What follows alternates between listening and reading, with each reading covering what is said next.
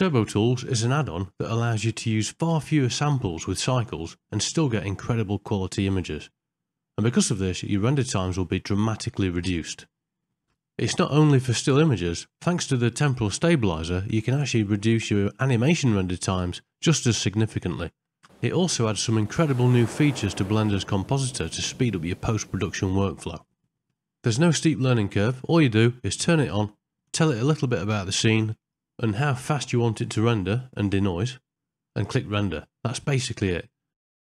It will even set up the samples for you based on the speed that you need to render, so there's no trial and error trying to find the best sample count.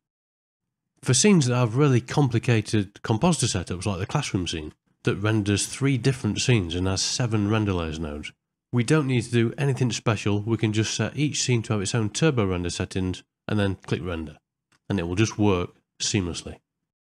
And even though this node tree rebuilds the image from the individual passes, because Turbo Render can denoise those individual passes, we're getting a clean result. If we tried the same with the OIDN or OptiX from the render panel, they'd produce a noisy result because they can only clean the combined pass.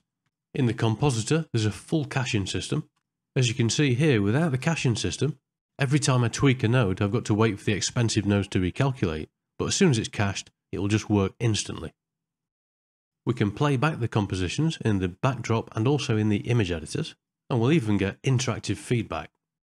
We can create fully wired file output nodes with a single click of a button, and then we can save those file output nodes without even needing to re-render. Thanks to the publishing system, we can output unlimited compositions of your rendered frames with a single button press and we'll get real-time feedback as it happens. Using the Turbo Tools Temporal Stabilizer, we can quickly remove denoising flicker from animations at the click of a button, quite dramatically reducing flicker even if you're using ridiculously low samples, as is the case here. And in 4.0 of Turbo Tools, we've also now got Temporal Intelligence.